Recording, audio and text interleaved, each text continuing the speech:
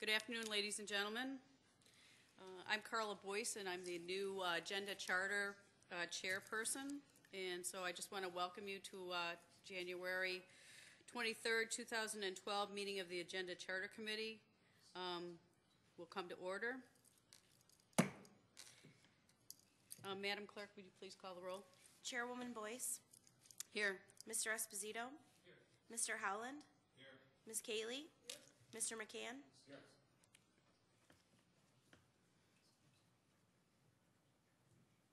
Is there anybody signed up for the public forum? There is not.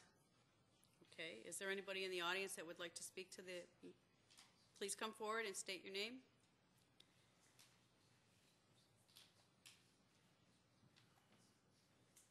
Good afternoon. Uh, My name is Thomas Gregory, and I just want to bring a point up. The last legislative session that we had, seeing this is agenda charter, as we noticed in the past, we're getting a lot more vocalness from the gallery. One of the things I think that's really important is that there's an appropriate way of addressing the legislature, petitioning one's cause and addressing, I mean, real issues. And I think what happens when we look at the, uh, the rules of the legislature as well as our county charter, and we see that the president of the legislature has one major responsibility amongst many others, actually, and that is to keep and maintain the decorum of this particular body.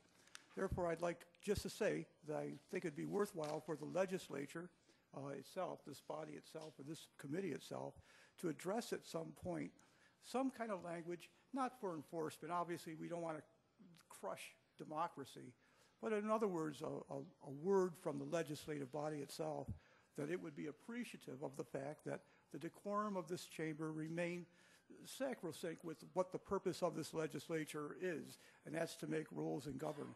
Obviously, if it was a bipartisan suggestion, you would reach to both sides, you know, of the uh, Republicans as well as Democrats. I mean, I think what I'm trying to say is maybe it's time for this legislative body to give more support to your president in this particular question. Thank you very much. Thank you. Is there anybody else who come before the public forum? If not, we'll call the public forum closed. First item on the agenda, Madam Clerk? You gotta do approval of minutes. Oh, I'm sorry, I'm jumping the gun. That's what happens when you put a freshman up here. The next item on the agenda is approval of minutes. You have the No- November 28, 2011 minutes before you. They will stand approved unless the clerk is notified of any changes by the end of the day. Now we'll go to new business. The next item on the agenda is new business. Madam Clerk, will you please read the number and the title of the referral followed by saying? Referral twelve 2 amending Article two, Section five forty-five nine of the Rules of the Monroe County Legislature. Moved by Mr. McCann, seconded by Mr. Howland.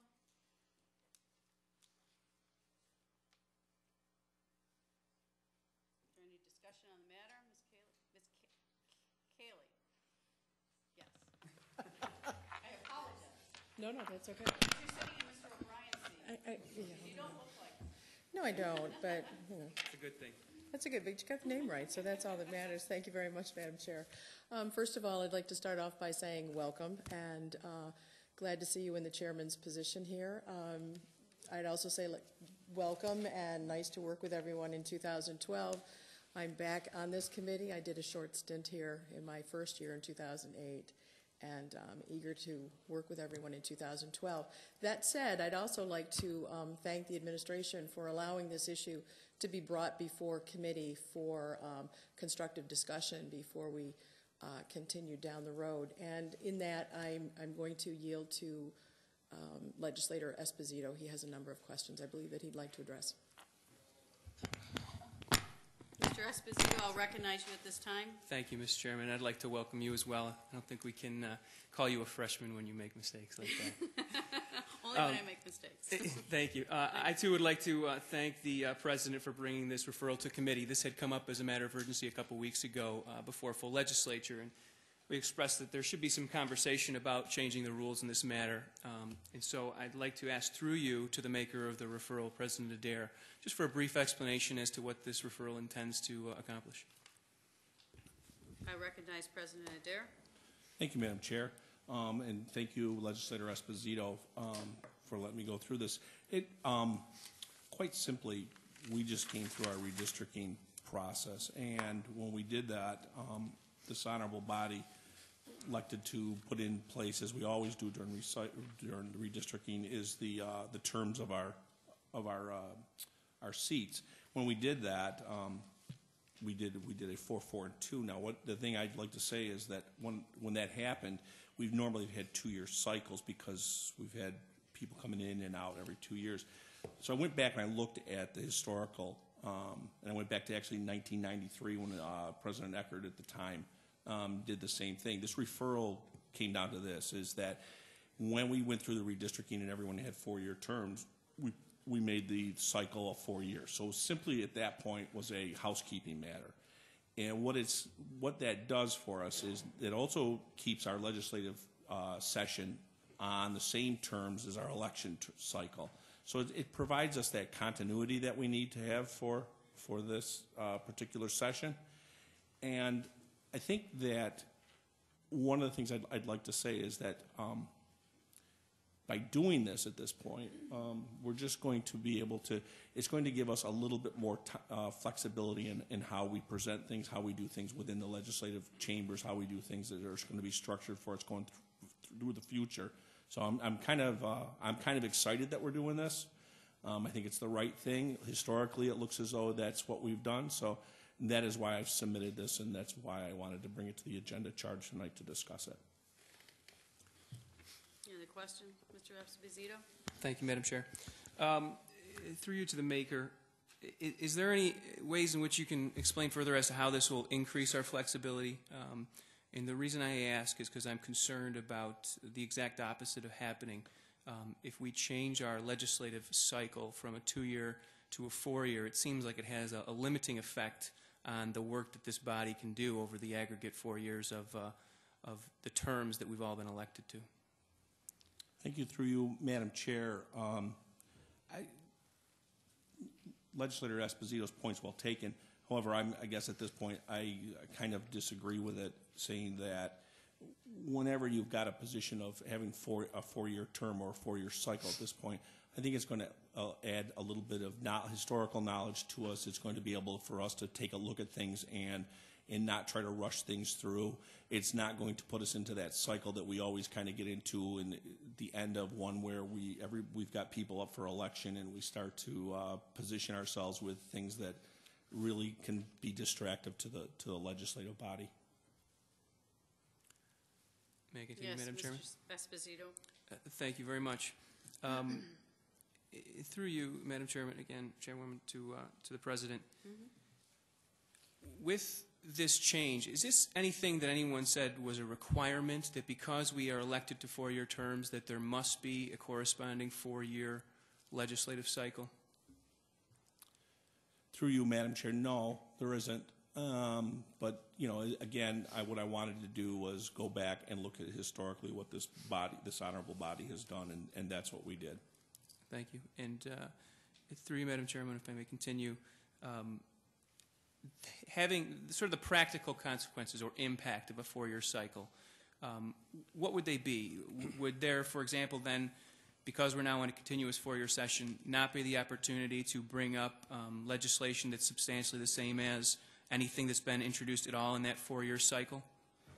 Is that one of the things that uh, would carry a- as a consequence of having a four-year cycle? Through you, Madam Chair, um, you know, it's, a- it's an interesting question because I guess one of the, the, the drawbacks to it could have been is, boy, could we introduce something this January and find out that th- thirty-six months from now, this thing should be relevant again? Right. I will, I will say this, there's no yes or no answer to that question. Um, I have, you know, as a legislator, every one of us have, there are different rules within this, within the body here, what we can use within the chambers as far as, you know, suspending the rules, considers to remotion. We can do, there's a lot of things that we can say. I, I personally can say this, you know, in my, in my tenure as president, um, we, I look at things a little bit differently, I think, I hope so, that um, when a referral's submitted to me, I look at it, first off, one of the things is the legality of it. Second off is that the financial impact statement is there and, and it's correct. And thirdly, I want to make sure that there isn't something similar on the books already, and that we're not overstepping our bounds with the state or federal government when they have passed things. Um, and I've had all those in, in two years. I've had every single one of those things come before me. I've also tried to make it a, a, at a point that when a legislator comes to me with something and, it, and it's been rejected, obviously we get the same, you get, the next day you get the, the form letter says it's been rejected and all that. But, but the legislators that I think have really tried, have had a passion for whatever their, whatever their referral was, have come back to me and have asked me that second question is, what is it exactly is wrong? And I think one of the things I've tried to do, and- it's on both sides of the aisle, and I, and I hope that, that- that people can feel that, feel that same way, is that if there's something wrong with it, that it's just a technical error, I've gone to that legislator and I've asked, I've told them there's technical errors. And I think we've had circumstances within the last two years where that's happened. And I think as when that has happened and the correction's been made, I've submitted into committee cycle. Thank Any you very, uh, further discussion? Thank you very much, Mr. President. Madam Chair, if I may continue. Um, I appreciate that sentiment. I, I, uh, I hope that that continues to carry the day in terms of uh, handling referrals that get introduced. Uh, I am concerned, um, as I have been since I elected this body, about the impact of the substantially the same as rule. I would certainly hope that uh, the President or the majority of this body, if, uh, if we ever deem the need to bring something back because it's of, of import that's been considered before, uh, sort of as you said, that we continue to do that. But I have trouble believing that as an independently elected uh, official, I'm not able to do that on my own, uh, at least more than one time, even if it's not an unlimited. So, so that's something that I, I have concern about further limiting that effect. I didn't like it under the two-year cycle. I like it less under the four-year cycle. Um, and so that's, that's one problem I have with this. Uh, I guess the other question I have, just to confirm, is by virtue of doing a four-year cycle, um, there will be no organizational meeting of this body in January of 2014. Is that something that the chair or the president could confirm? Through you, Madam Chair, that would be correct. Thank you. Um, well, I understand why we're doing this. Um, I, I disagree with it. I voted against uh, the the amendment uh, of expanding the terms all to four years, and this was one of those reasons. Uh, therefore, I don't think we should continue to do it. Um, I guess there is one other point I meant to ask. I apologize before I sum up, Mr. Chair, if I may continue. You may. Um, you mentioned precedent from 1993. If I recall, in 2002, after the reapportionment in 2001, every uh, term, every term for every office in the legislature was also a four-year term, but there was no subsequent um, change in the rules like we see before us today.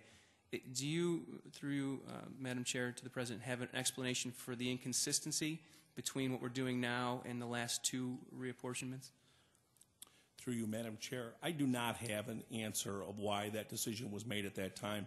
I just know at this time that I made the decision based on the 1993, which to me made as much, made the most sense to me, and, and that's why I brought this before this honorable body. Okay. Um, Thank you. I'll I'll certainly look into the, why, what we did in the 01 to 05 timeframe between now and, and full legislature. But without belaboring the point anymore, I'd just like to say I'll be voting against this referral and encourage my colleagues to do the same. Thank you, Mr. Esposito. Would anybody like to, else would like to address? Okay. If not, then we'll call the vote. Madam Clerk? Roll call vote? Roll call vote, please. Sure. Okay. Chairwoman Boyce? Uh, yes. Mr. Esposito? No. Mr. Howland? Aye. Ms. Cayley? No. Mr. McCann? Yes. Three to two, passes.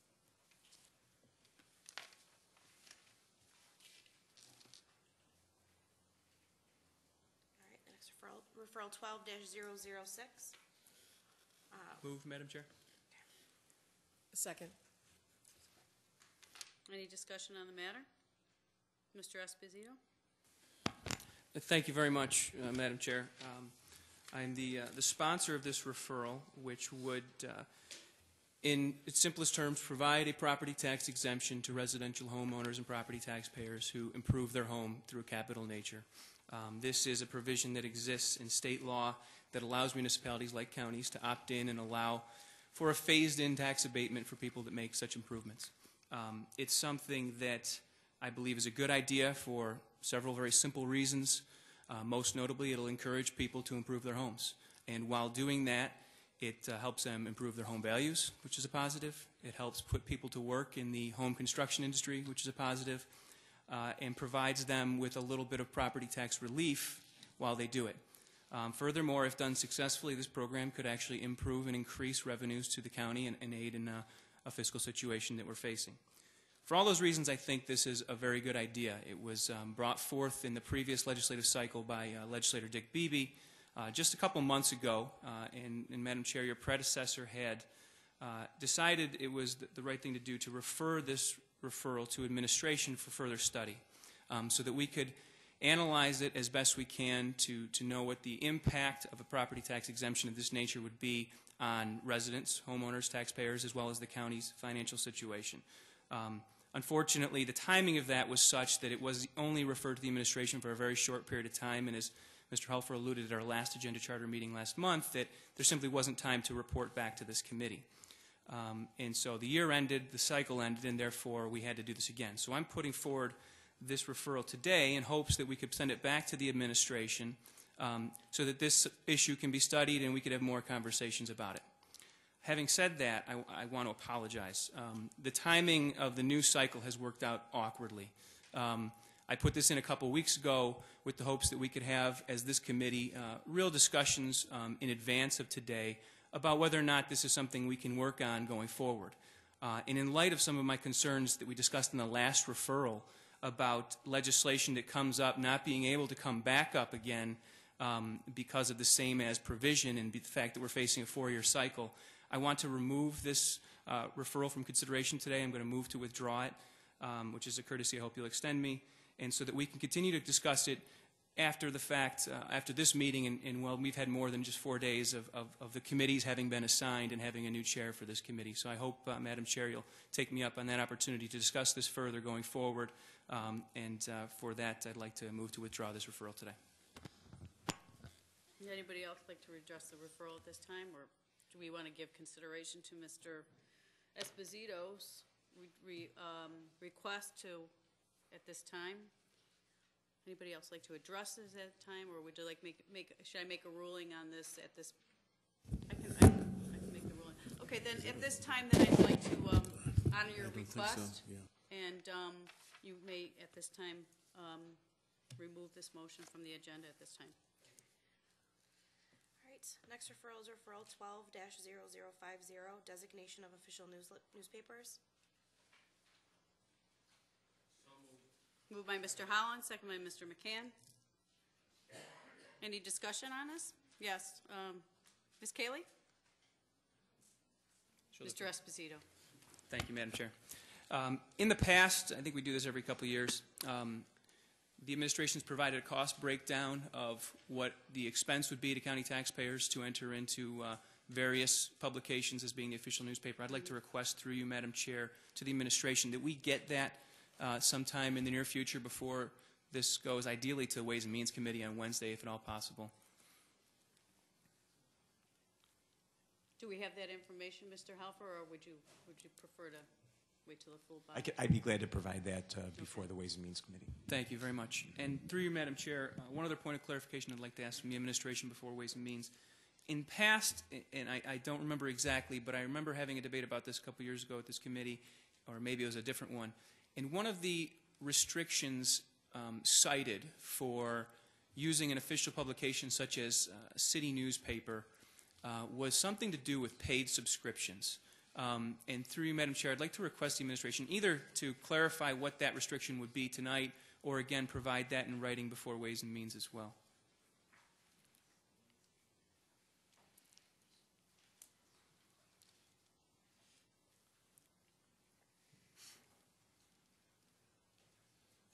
Uh, Madam Chair, we can provide both of those requests um, prior to the Ways and Means Committee. We'll put something together in writing and get it to the committee members. That'd be Okay. helpful. Thank you very Thank much. you. Anything further, Ms. Kaylee? Are you all set? Mr. McCann? Madam Chair, maybe I'm mistaken here, but looking at the referral, it doesn't look like it goes to Ways and Means, right? Yeah, okay. For that information before full legislature. That would be fine. We'd be glad to. Thank you. Yes, thank you for clarifica- clarification, Mr. McCann. Anything further on this? If not, we'll call, uh, vote on this? All in favor? Opposed? Referral twelve fifty-two, two thousand twelve annual work program for the Monroe County Legislature. Moved by Mr. McCann, second by Mr. Howland. Any discussion on the matter? I recognize uh, President Adair. Madam Chair, I request that I be able to present it to the uh, committee. You may. Would you like help to the podium, sir? I was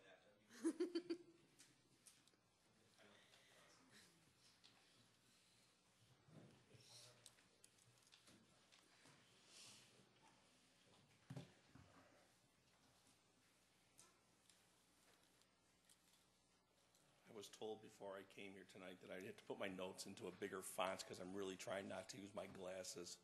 When I first started out, we had the, we had the 16th fonts. Now I'm probably up to 24. Um, Thank you, Ch- Chairman, or Chairwoman Boyce, and, and thank you for letting me um, address the committee tonight about the uh, legislative work program for 2012. One of the things I think I'm most uh, happy with is, you know, we made some, we made some decisions last year, I made some decisions last year to change this format around, uh, to make it a little bit more workable. I think that, um, I'm pleased to say that that will be that way tonight. I'm hoping that this is something that we can all um, agree that we need to do some work on, and that I'm very, also very proud to say that this is the first, uh, this is the earliest a work plan's ever been submitted, so. um, As county charter state states, um, it is my duty as president to enter in a work plan. Um, In that, in the charter, it says to act with the agenda charter committee. Um, Historically, in the number of years, and this is supposed to be submitted every time, we've only done this 12 times. This is being the 12th time we've submitted it. So we've really had a, as I said, I think last year at this time, we really have a spotty record of, of getting this in and submitting it. Um, Historically, this document has always been something that can be contentious, can be something that we squabble over and all that. And it, my intent tonight really is to lay out wh- what my thought process on it was, where I'd like to see it go from this, at this point, and share with you my ideas for the, for what I call the, the pillars of, of this. Um, First and foremost, we need to move the process forward. I, I think that's, I think that's key. I think we've got to not be in a position where this is just gonna stall out and, and become a, a piece of paper that we spent some time on, I spent some time on, we don't use it. Um, I wanna have an open discussion about this, uh, work plan. I want to eliminate this as a source of contention. I want this to be what it's called, a work plan. Um, I want to make sure that we don't see delays in it, we don't stall it out. Um, and I know sometimes because we have, you know, we have two different sides of the aisle here, that things can happen like that. But I think as long as we continue to keep working, I think it, it will be for the betterment of this legislative body. The approach I took on this is one that I think is familiar for myself, and I think familiar for a lot of people that are, are here in the chambers tonight. And I took a, a direct board of, board of directors approach to this. And thinking about us for a second, that the shareholders of this company are the taxpayers of County of Monroe, what is the best way a board of directors can take this and, and effectively provide the services and have a vision for what we should be doing up here, for what we should be doing up here on the fourth floor. Now, that said, board of, uh, board of directors do not run the micromanaging of the business. They do not sit down and, and, and run the day-to-day operation. That's what CEOs are for. That's what the people are that are in charge of, of doing the, uh, the day-to-day business. Our document, I want it to be a statement of our values and the direction of which we, which we are, uh, supposed to be sending this, this agenda, or this, this work plan and us into. So, with that said, I don't think that this should be something that we, it's, it should not be something that we don't have specifics in as far as our values or directions and, and, and being, uh, being a, a a clear direction of what we want to do over the next year, or the next two years, or the next four years. I think it should be something that it's not rigid, it shouldn't be in stone, it should be something that's a working tool, that at, at times, as legislator Esposito tonight said in one of his uh, concerns about having a four-year cycle is, there's, things are going to change. and we, we need to recognize that. Um, I put the document together, and I think everyone has the document today. It came in as a matter of importance. And, and the first one um, pretty much is about jobs. And if you look at what I presented to you, if you look at what I presented to you, jobs, I think, is the number one uh, priority or pillar of this thing. We just got a report recently, I think in the last week or so, from the Department of Labor, citing that, I think it was the State Department of Labor, uh, citing that Ro- the Rochester region was number one in job growth. That's really good. And I'm glad to hear that. But one of the things I've always said is, as president here, or as a, as a county legislator, we should be accenting the positives of what we're doing. I think it's great to get press like that. I think it's showing that we're moving in the right direction, but we can't get off of that right now. We got to continue that, and I think all 29 of us would agree. The jobs for this community, it's going to be one of our things to, I think, to create create an atmosphere which allows both our public and our not-for-profit sectors to work together to achieve real go- jobs. Point that I put in there tonight was, you know, what, how do we have a partnership with RGA? How do we have a, a, a partnership with RBA? How do we have a partnership with Unicon? How do we do that? One of the first and foremost things is, you know, we need to, as a legislative body, understand what they're trying to do, and we, they have to understand what we're trying to do. And I think specifically when it comes to jobs and all that, I think we should all be keenly aware of what everybody wants to accomplish here. So that's, to me, on the jobs point, that's the, that's the most important part of it. And I think one of the things that we can do is, is help us with that. The second bullet is spending reduction. And one of the things I see every month in this body is we have memorializing resolutions, which have given us the ability, gives us the ability to say something to somebody in a different office. Now, what do we do with the memorial rights resolutions? Do they really send the strong message that we should, as, as a legislative body, um, to our, our state people, our federal people? Does this, do they send the right message that we in, in Monroe County need to be heard and we in Monroe County need to, to act upon things? I, I want to make sure that we use our memorializing resolutions. I want us to, to look at that stuff as, as making sure that we have the influence on people, whether they're in Washington, whether they're in Albany, that we as a, as a group have a united front, that we take a stand against, especially against unfunded and underfunded mandates from the state and the federal government. The third one that I have on here is property tax stability. And this is about innovation. In the city and the country that's produced or hosts most of the creative and innovative thinkers in this country's history, from George Eastman to Frederick Douglass, our citizens have been more innovative and have changed the course of history. I, think that's nothing's truer that's be said about you know some of the things that come out of our area, out of our region is just it's it's remarkable. Sometimes I think we we dwell on the things that you know that, that are negative, and, and we shouldn't. We should be dwelling on the positive stuff. This county government now continues to be innovative in keeping property taxes from becoming more of a stranglehold on residents and taxpayers. And I think every single person in here understands that and knows that that's that's part of our our uh, our mantra is going for our ours to go forward and say, you know what, we don't want taxes to go up on people. We know they're overtaxed at this point. I think that's that's squarely going to be one of those things that we, we need to make sure that's in part of those pillars. The fourth one is just to promote ethical leadership within our community. And, and when I say that, you know, it's it's personal ethics. Um, it's holding all of us accountable. I remember the first time that I got elected to a town board, and I remember Herb Carlberg telling me that at that point, 24 hours a day, seven days a week, I'm going to be a town board member. And he was probably right. And I look at that, and when I see ethic leadership, I think it's within ourselves here as a group to do that and be honorable about it, and to make sure that we're doing the right things both in this body and our personal decisions. So I would like to make sure that that is part of the pillar of our, of our work plan. For tonight's discussion and, on this document, and, I- and I really hope that just using those four points tonight that I've communicated what my intent is and explain the matter of the process on which I use to, to come to this point, um, I want to say that I think this is something we need to, to work on. I think this is something that I'm presenting to you tonight. Um, it was presented as a matter of importance, quite frankly, because I didn't want to miss the first cycle of our committees. Um, With that said, um, Madam Chair, I would like to move that the work plan tonight be tabled till the next cycle. That would give everybody a chance to take a look at it, um, to give me some input.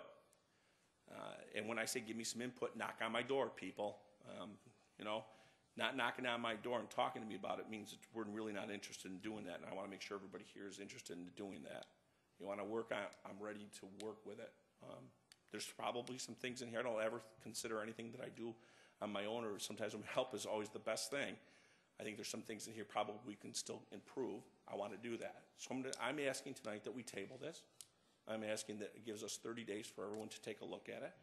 And with that, I think what I'd like to do is if there's any questions or anything that anybody's got at this point, I'd like to open up the floor to that. Any questions, Mr. Esposito? Thank you, Madam Chair. Thank you, Mr. President, for the presentation. Um, I'll certainly take you up on, on the opportunity to talk before next cycle, and I think that's a wise thing to do, so we can all discuss it.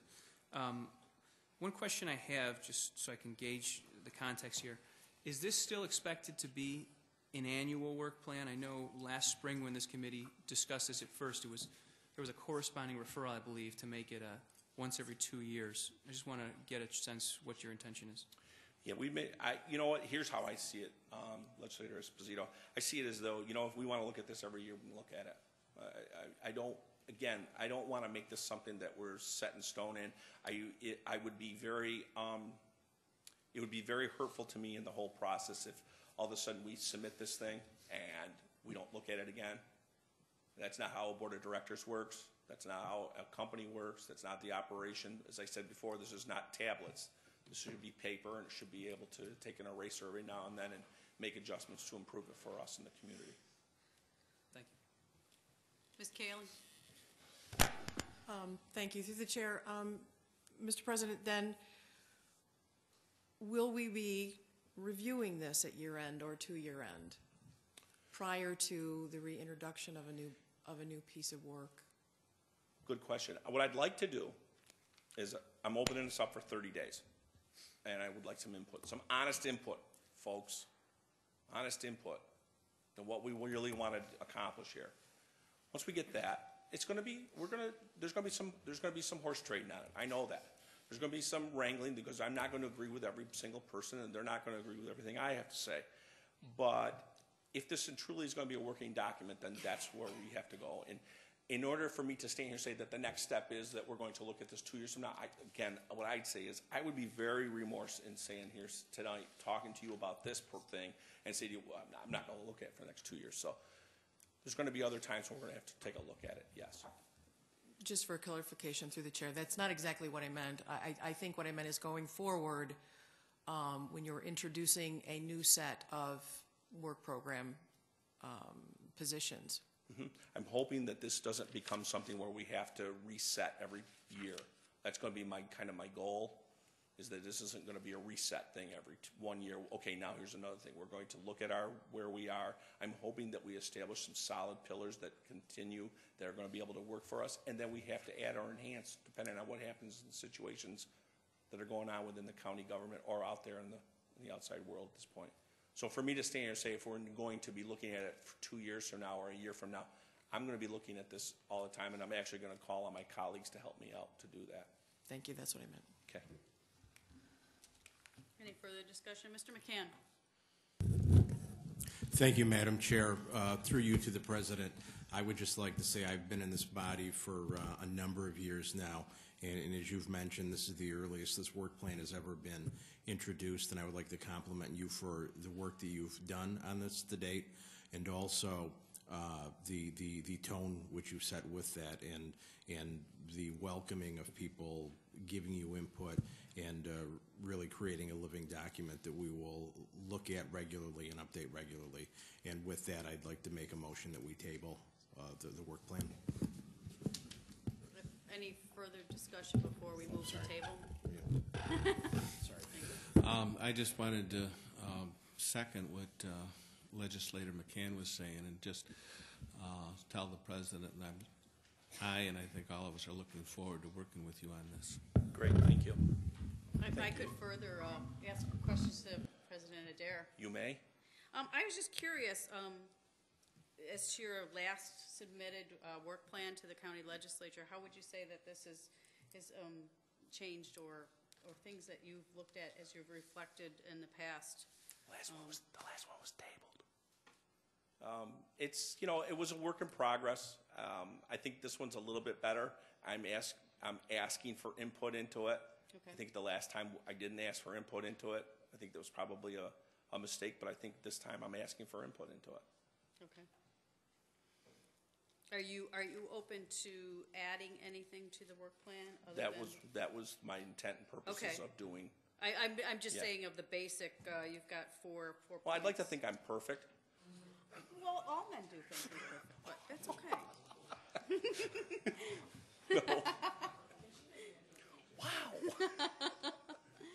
Hey, we gotta keep it light in here. I know. But, uh, so you're willing to actually add Yep. to the four points? that you Absolutely, did? Okay, absolutely. all right. Any further discussion at this time? Hearing no, no other discussion at this time, then um, we'll move to table as requested, and um, we'll look forward to uh, the discussion in 30 days. Thank you, Madam Chair. Thank you, everybody. Oh, yes, we must vote on that. I pro- I apologize. So at this time, can we, vo- can we, we just moved to table it. Oh, I don't think we had to vote on the tabling it. Okay. No. Yeah, I'm the chair. I'm I'm ruled to chair that we table. Okay. So at that time, this, this time we'll move to table it, and, um, is there any other new business to come before this committee? Oh, I apologize. We do have to vote? Okay, clarification. We do have to vote. I apologize. All right, so all in favor? Okay. Opposed? Opposed? Any opposed? I don't see any. Okay. All right, so, we'll go here. Is there any unfinished business?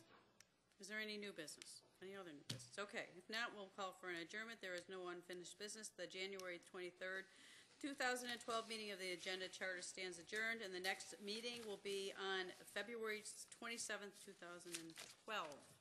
Thank you.